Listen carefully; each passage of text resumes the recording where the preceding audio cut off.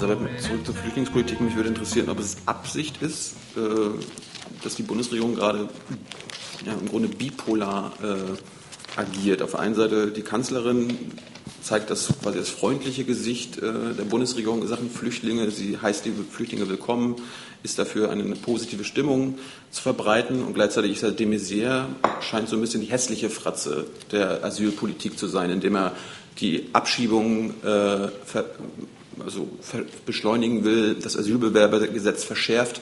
Da würde mich interessieren, ist das Absicht von Ihnen?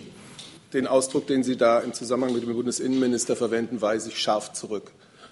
Und ansonsten möchte ich Sie gerne auf äh, die Regierungs- oder auf die Ansprache der Bundeskanzlerin im Bundestag in der vergangenen Woche leiten. Erster Punkt. Diejenigen, die als Asylsuchende zu uns kommen oder als Kriegsflüchtlinge anerkannt werden, brauchen unsere Hilfe, damit sie sich schnell integrieren können. Zweitens. Diejenigen, die nicht vor politischer Verfolgung oder Krieg flüchten, sondern aus wirtschaftlicher Not zu uns kommen, werden nicht in Deutschland bleiben können.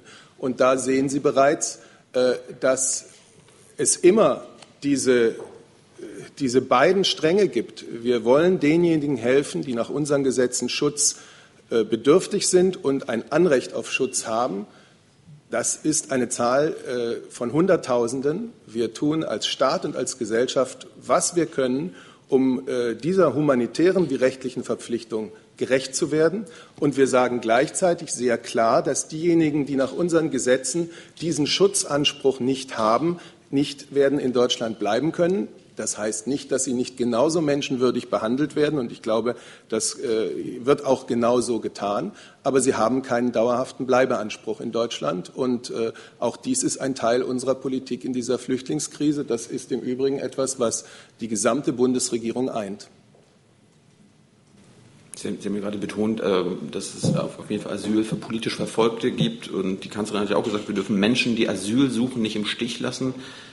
Dann würde mich interessieren, Warum lässt die Bundesregierung Edward Snowden im Stich? Das ist ein politisch Verfolgter, der in Deutschland Asyl sucht und kein Asyl bekommen soll. Diese Debatte haben wir hier vergangenen, im vergangenen Jahr äh, über Wochen und Monate geführt. Ich verweise auf all das, was wir hier als Sprecher der Bundesregierung zu diesem Thema bereits gesagt haben. Einen neuen Aspekt sehe ich da nicht.